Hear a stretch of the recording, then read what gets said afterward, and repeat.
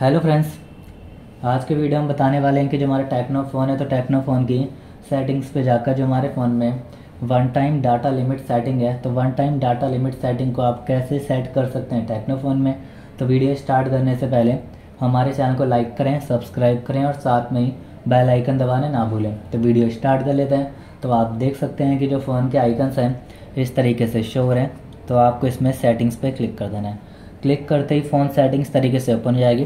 तो जो हमारे फ़ोन में one time data limit setting है तो one time data limit setting को आप सेट कैसे कर सकते हैं? तो सबसे पहले आपको जाना होगा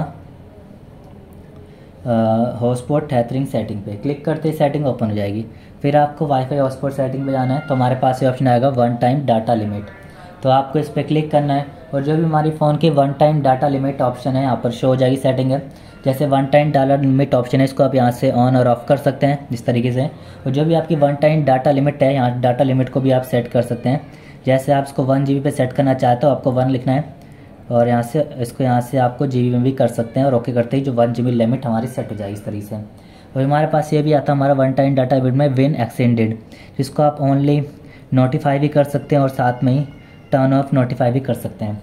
तो इस तरीके से आप one time data limit setting को सेट कर सकते हैं और जैसे आपको one time data limit option नहीं मिल रहा है तो आपको यहाँ पर सर्च कर देना है। आपको बस यहाँ पर लिखना होगा वन टाइम तो यहाँ पर हमारा ऑप्शन शो हो जाएगा। इसको आप यहाँ पर सर्च करेंगे तो यहाँ पर one time data limit setting show हो जाएगी।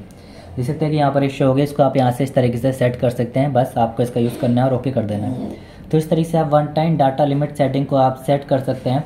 टेक्नोफोन की हॉटस्पॉट सेटिंग पे जाकर तो आपको वीडियो अच्छी लगी तो लाइक करें और सब्सक्राइब करें और साथ में बेल आइकन दबाना ना भूलें और थैंक यू नेक्स्ट वीडियो के लिए इंतज़ार करें।